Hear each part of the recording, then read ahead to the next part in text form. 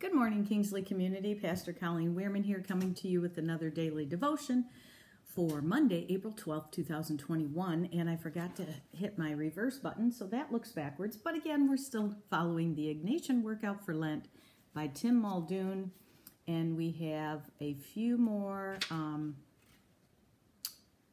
uh, a few more things to do, and then we should be good. We should be done with this, and we're going to move on to um, I'm going to do the little devotion I got from Randy Alcorn's book, Heaven, and it talks about frequently asked questions about heaven. So I thought we'd do that for a little bit, then I'll find another devotion. So, exercise 34 is the road to Emmaus. On the same day, two of them were going to a village called Emmaus. By the way, you can find this in Luke, I'm assuming. Yes. Luke 24, 13, 15 through 17, 19 through 23, and 25 through 32 or just read Luke 24, 1 through 42. 42. On the same day, two of them were going to a village called Emmaus, about seven miles from Jerusalem. While they were talking and discussing, Jesus himself came near and went with them, but their eyes were kept from recognizing him. And he said to them, What are you discussing with each other while you walked along? They replied, The things about Jesus of Nazareth, who was a prophet, mighty in deed and word before God and all the people and how our chief priests and leaders handed him over to be committed to death and crucified him. But we have hoped that he we had hoped that he was the one to redeem Israel.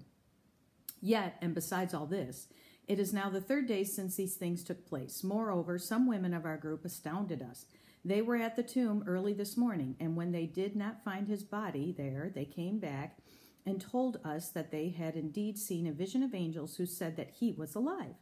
Then he said to them, Oh, how foolish you are, and how slow of hearts to believe all the prophets have declared. Was it not necessary that the Messiah should suffer these things and then enter into his glory?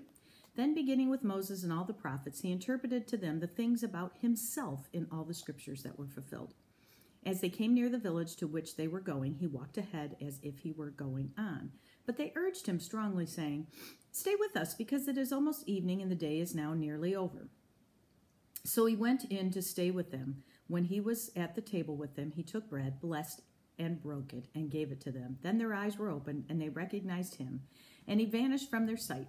They said to each other, Were not our hearts burning within us while he was talking to us on the road, while he was opening the scriptures to us? So Tim writes The disciples' rhetorical question at the end of this story is not only a key to what they experienced when they encountered Jesus, but also a commentary on the whole of the spiritual life. Were not our hearts burning within us? They asked, remembering that during most of their encounter with Jesus, they did not know it was Him until almost after the fact. Our lives are like that. We go from one experience to the other, unmindful of Jesus' presence with us, until, if we pay attention, the moment of crystal clarity when all of our previous experiences make sense. The keys, of course, the key, of course, is awareness of how our own hearts are burning within us. So that's interesting because when I was in seminary, they had us do a look back at your life, starting from when you can remember, when you were young, childhood, adolescence, graduating high school, um, if you went to college, graduating college, um, young adulthood. Um, oh my, excuse me, my allergies are kicking up.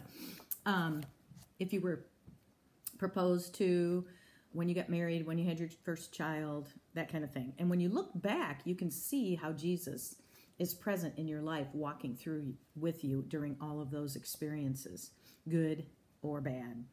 And so it's helpful to do that. So you kind of break your life up into those sections and look back upon it, and you can see all the cool, um, all the cool God winks, God moments when Jesus was near. Actually, he's always near, but when you actually look at it and you can see that he was.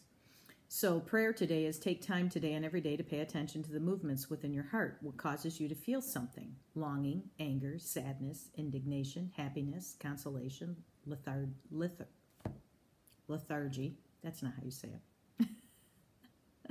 Lethargic.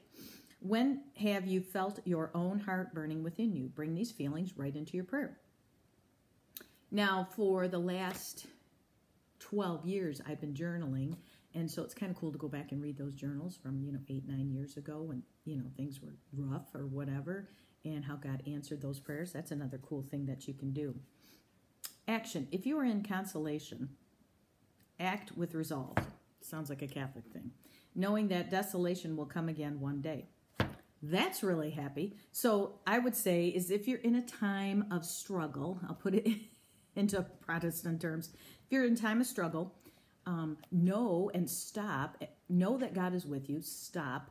Look for the God times. Look for the God moments. Look for God's hand in the situation, and knowing that the resolve will come soon. If you, um, let's see, whatever it says um, stay on the road and invite Jesus to journey with you. So stay on the road. Often it says, though I walk through the valley of the shadow of death, we're not talking about dead, we're talking about valley times in our lives. So it, the psalmist David writes, though I walk through the valley of the shadow of death, I will fear no evil because you are with me. Your rod and your staff, your word and your Holy Spirit are with me and journey along with me. So remember that. Look back at your life and see where God has been working in your life, and then watch today how He works in your life. And then write it down, and then pray and give thanks to God. And if you don't feel like He's with you, just ask Him to show you that He is, and you'll get some kind of confirmation. Maybe not exactly today, but within a certain period of time, I'm sure. Um, so we're going to do about five more days of this, and then we'll move on to frequently asked questions about heaven. And we'll use Randy Alcorn's little book. I have a copy of it somewhere.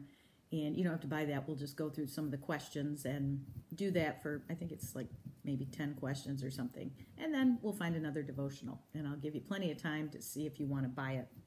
Until then, I will see you tomorrow. So have a good day. Bye bye.